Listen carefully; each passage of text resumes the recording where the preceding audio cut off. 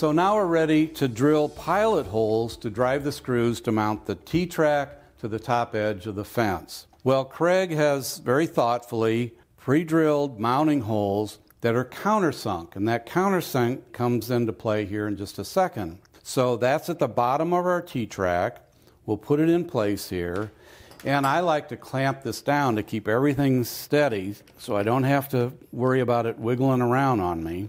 And I'll tighten that down and then get another one, little clamp here on the other end of our T-track so it's held in place. Well, now I'm ready to drill pilot holes with a twist bit. But as you know, as you're drilling into almost any wood, but particularly into plywood like this, that bit tends to wander around a little bit and it really goofs up where that pilot hole is and then where the screw is. Well, to solve that problem, I use what's called a self-centering hinge bit. So this has a twist bit on the, in the, as the core of it. There's a sleeve around the twist bit, and then the end of the sleeve is beveled to match the countersink that's in the bottom of the T-track. So all that goes together so that this is held firmly in place. Now this sleeve is also spring mounted. So when I go in to drill, the twist bit extends down beyond the end of the sleeve.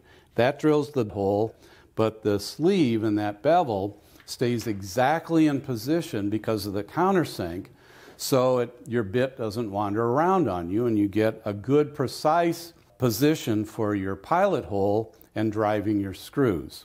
So I'll go ahead and drill my pilot hole.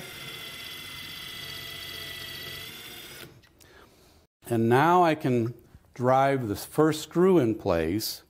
I like to go ahead and drive this first screw. You could drive all your pilot holes uh, in all the mounting holes, but I like to drive this first one in place first. So that's in place. Now everything's pretty much set, so I can go back and start going ahead and drilling all of my pilot holes for all the screws and then drive the screws to mount the T-track to the top edge of the fence.